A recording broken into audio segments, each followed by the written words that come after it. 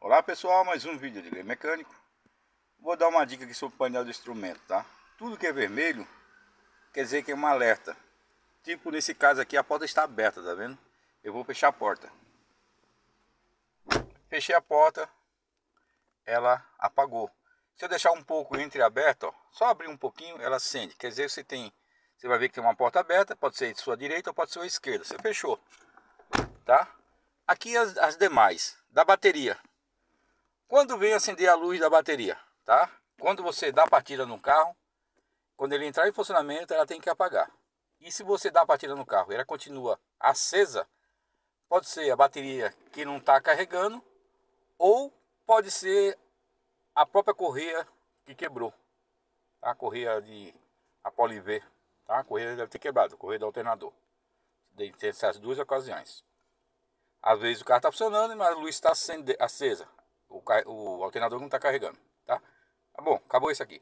Essa luz aqui de injeção aqui, ó, essa luzinha aqui, que você liga o contato, ela acende, quando entra em funcionamento ela apaga, legal.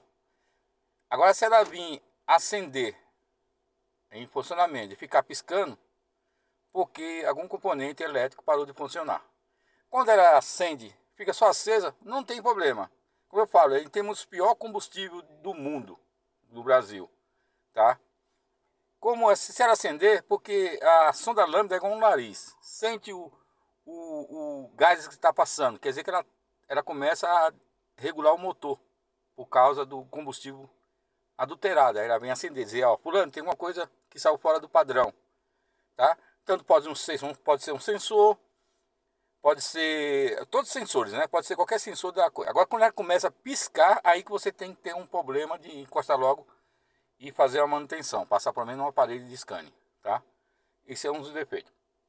Agora mesmo, agora tem essa luz aqui, ó. Essa luz que acendeu aqui, ó. Apagou, acendeu. Essa daqui, ó. Apagou, acendeu. Essa é a luz, tá, do freio de estacionamento, o famoso freio de mão. Quando ela tá acesa, porque o freio de mão tá puxado, certo? Quando eu solto o freio de mão, ela apaga.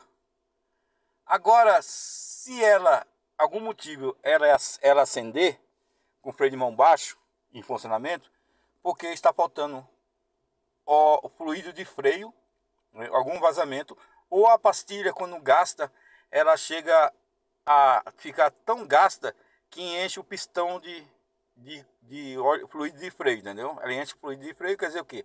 Ela vai dar falta. E ela vai acusar por essa boia aqui, ó. Isso aqui é uma boia, ó tá? É uma boia. É um marcador de nível. Esse aqui tô com ele na mão aqui porque esse carro agora foi fazer uma revisão nele, não tava sem nenhum óleo. Sem nenhum óleo, sem nenhum óleo de freio, mas fluido de freio, tava sem nenhum. Por quê? Porque em algum momento ela não acusou. Olha a sujeira que tá aqui, ó. Certo? Então a dica é essa. Acendeu qualquer luz vermelha, freio de mão, freio de estacionamento que tiver sem estar acionado, falta de fluido de freio. Bateria, já dei a dica. Ou ela acende quando o alternador não está carregando, ou ela, ou ela acende quando a correia quebra. Vamos aqui na, lá, de fora. Aqui pessoal, como eu falei para vocês, isso aqui ó, ela é, é um marcador de nível, é a tampa do reservatório de fluido de freio. Ela vai aqui ó. Caso vinha acabar o óleo, ela vai abaixar a, a boia que está aqui. Vou abrir para vocês verem como é que ela é. Que as, o óleo nunca foi trocado, ó. Olha a borra que está aqui, ó.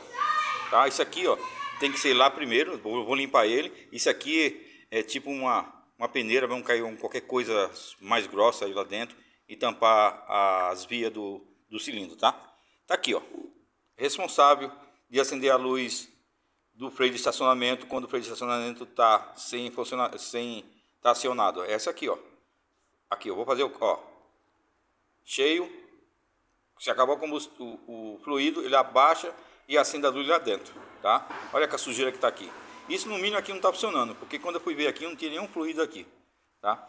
E também, como esse carro ele é, tem um atuador de embreagem, há muita possibilidade, se não tiver vazamento nas rodas, ser do próprio atuador como um que está aqui, ó. Mas eu já vi que não tem vazamento nenhum, tá? certo? E tem um, o atuador também escravo que é do pedal lá dentro, tá? Se não tiver vazamento nenhum na roda, no cilindro traseiro ou em algum flexível dianteiro ou própria pinça de freio, é, pode ser o que? Defeito dos, da embreagem ou defeito de algum cilindro, como eu falei mesmo, entendeu?